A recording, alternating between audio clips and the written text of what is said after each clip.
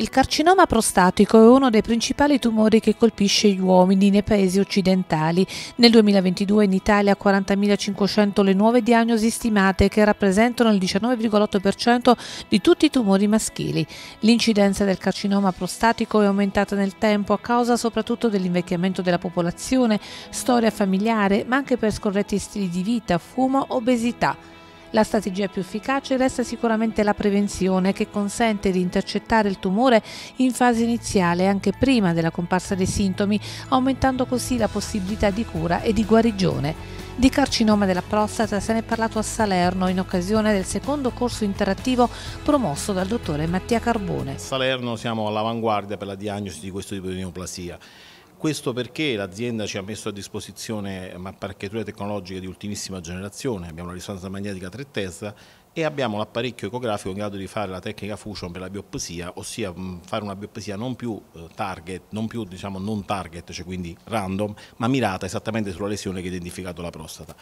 Avendo questa grande diciamo, capacità diagnostica che ci è riconosciuta a livello nazionale, abbiamo, riteniamo che sia giusto che questo tipo di, eh, di, di iter diagnostico venga trasmesso maniera, nella maniera più corretta possibile. Sono ancora troppe eh, le risonanze magnetiche fatte male e troppe ancora le biopsie fatte con tecnica random anche in maniera superficiale, in studi eh, improvvisati. Il, il, tumore della prostata è un tumore molto importante, ha una grandissima incidenza, va affrontato con serietà e oggi la tecnologia ce lo consente, non è nemmeno particolarmente difficile, l'importante è seguire delle linee guida generali e questo lo, eh, si può fare solo attraverso la formazione e i corsi. Qui sono presenti le maggiori eccellenze nazionali quest'oggi a Salerno, io ne sono orgoglioso e fiero. Abbiamo la, la professoressa Parebianco che è il massimo esperto nazionale dell'Università Sapienza di Roma, il professore Cardone della, del San Raffaele di Milano, il professore Brunese, il magnifico rettore dell'Università del Molise, abbiamo il professore Minervini del Careggi di Firenze, il professore Dente dell'Università di Ancona, insomma abbiamo, abbiamo, le eccellenze nazionali sia dal punto di vista urologico, sia dal punto di vista radiologico, sia dal punto di vista anatomopatologico con il primario dell'ospedale del mare, il dottore D'Antonio e la dottoressa Adesso che è un'eccellenza dell'ASL dell Salerno. Pertanto ci sentiamo in una situazione di massima competitività e possiamo dare sicuramente sia naturalmente per la formazione eh, i criteri giusti per, per, affrontare il problema e poi naturalmente questo avrà un, un effetto positivo sulla popolazione e in un momento di grande difficoltà della sanità sia a livello regionale che a livello nazionale, questo è, un, è, un, è un, per me un importante compito e missione di quando uno acquisisce una competenza ed è giusto che la trasmetta nella maniera più corretta possibile. Una diagnostica per immagine al top presso l'azienda ospedaliera universitaria di Salerno, dottore Carbone? Ma dal punto di vista della diagnostica per immagini possiamo dire che a Salerno siamo sicuramente un'eccellenza e ci è riconosciuto a livello nazionale. Non ci fermiamo perché nonostante abbiamo raggiunto la risonanza magnetica multiparametrica magnetica 3 Tesla e la biopsia con tecnica fusion, nostro scopo, nostra ulteriore intenzione è di implementare ulteriormente la precisione diagnostica con l'intelligenza artificiale e prossimamente aggiungeremo questo ulteriore step per avere una diagnosi ancora più precisa. Professore Brunese, il carcinoma della prostata purtroppo è in netto aumento, però non sempre dobbiamo essere pessimisti, è così? Allora, è un aumento diciamo relativo, la motivazione è che poiché si diceva una volta c'era la regola del 70, il 70% degli uomini dopo i 70 anni ha cellule neoplastiche nella prostata.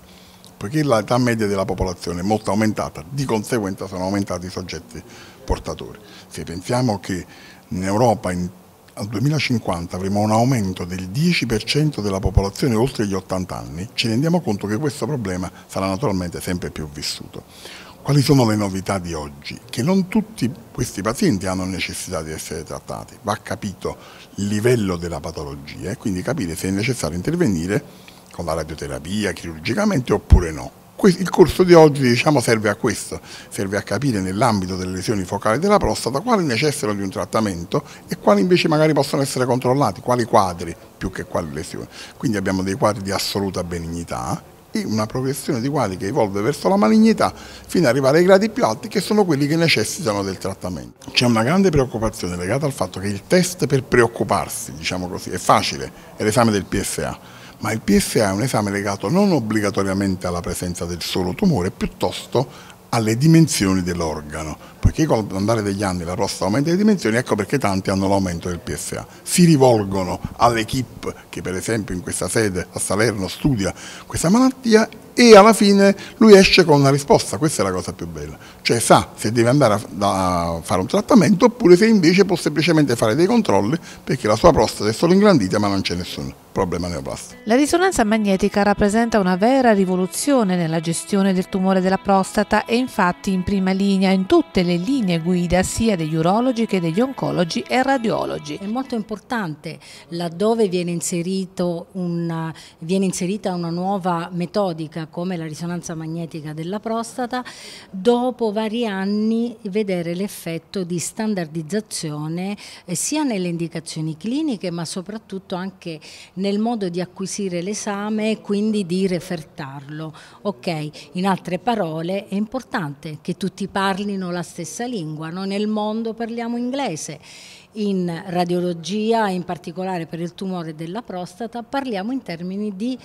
PIRATS, quindi di linee guida che eh, regolano in pratica eh, l'acquisizione e la refertazione della risonanza della prostata. Questo è importante perché eh, la diffusione della metodica da un lato, la standardizzazione da un l'altro, ha permesso l'utilizzo della risonanza magnetica sia per la diagnosi primaria, sia poi per la stadiazione, quindi per dare delle informazioni al, chirurgo laddove per esempio c'è un'indicazione a un intervento di nerve sparing, cioè per il risparmio del fascio vascolo nervoso che è quel fascio eh, diciamo che regola la potenza sessuale. Il sistema robotico Da Vinci è ormai il gold standard in grado di affrontare ogni tipo di tumore, ma nei casi più complessi è fondamentale una valutazione multidisciplinare avvalendosi delle figure dell'oncologo e del radioterapista. Ormai oggigiorno la chirurgia robotica è il gold standard e ci permette permette di fare interventi anche molto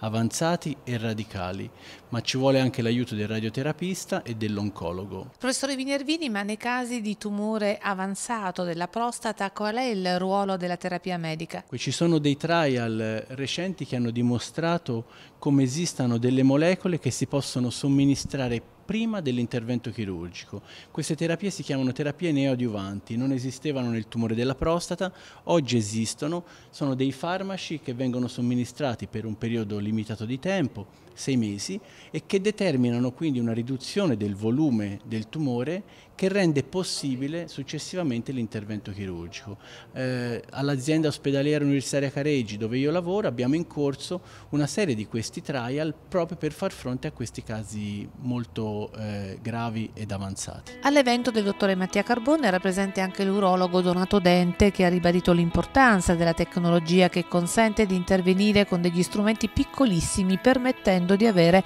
una chirurgia molto fine. Con un risparmio stressato di tutta quella che è eh, la struttura anatomica deputata alla continenza e, ove mai oncologicamente eh, corretti, la possibilità di andare a risparmiare tutto quello che è il fascio vascolo nervoso periprostatico perché ovviamente eh, la malattia prostatica colpisce sempre più persone giovani e quindi ovviamente oltre che alla continenza anche la potenza sessuale può essere un qualcosa importante da dover mantenere dopo la chirurgia.